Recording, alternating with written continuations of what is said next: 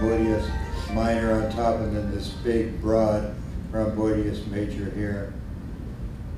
And then these muscles of the rotator cuff. The supraspinatus tends to sit on top. Chest x-ray should be taken to confirm whether this has been reduced.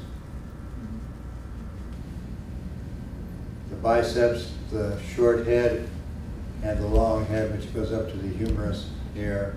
So rotator cuff tears. Rotator cuff injury can include any type of irritation or damage. They're among the most common conditions affecting the shoulder, as you all know. The tendons of rotator cuff, not the muscles, are usually torn. Of the four tendons, the supraspinatus is the most frequently torn as it passes below the acromion. Uh, the acromion has a little burr on it, and this little burr can rub on the supraspinatus, and it gets more hypertrophic in older people. And when I say older people, I mean over the age of 50.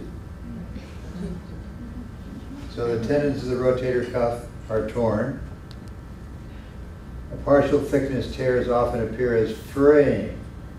Usually partial thickness tears are left alone and the patient's put on physical therapy. Full thickness tears are through and through tears. These can be a part of the tendon, pinpoint tears or buttonhole tears, or in tears involving the majority or the entire tendon. Full thickness complete tears complete detachment of the tendon may result in impaired shoulder motion and function. As a result of repetitive microtrauma in the setting of degenerative rotator cuff tendons, inflammatory mediators and oxidative stress causes further rotator cuff degeneration and breakdown and can cause rotator cuff tears and frozen shoulder at the same time. So this is why this pain can move around. Look at how much of the sensory cortex is devoted to the shoulder. That little blip right there. Look at how much is devoted to the thumb and the rest of the hand and the face and the lips. Professor Robinson just concluded an anatomy class. Sir, I'm rather impressed by the atmosphere and your attitude and how you conduct things. What was the actual class about today? Yes, it was about the treatment of orthopedics, how to deal with uh, joint replacement, how to deal with fractures, and how to deal with low back strain, neck problems, that sort of thing. Most interesting. We all could use a little assistance in that area. Where are you from? I'm from Pennsylvania, um, in the Philadelphia region. How many years are you studying medicine? What are your plans for the future? Well, I'm currently, I have my master's degree as a physician assistant and I do cardiothoracic surgery. And I plan on doing this program and graduating with my MD degree and um, hopefully going into internal medicine actually. So a little bit of a change of pace.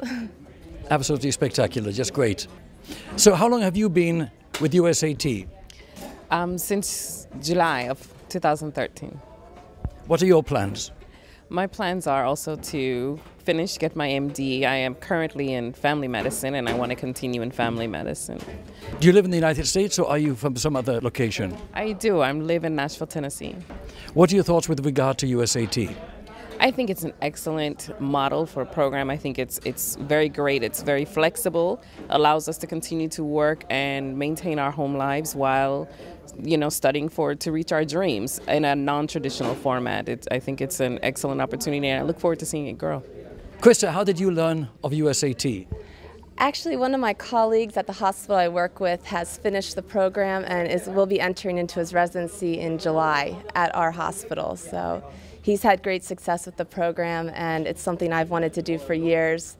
And USAT has made it um, a possibility for me. So I'm very excited about that. Excellent, absolutely wonderful. Thank you. Thank you.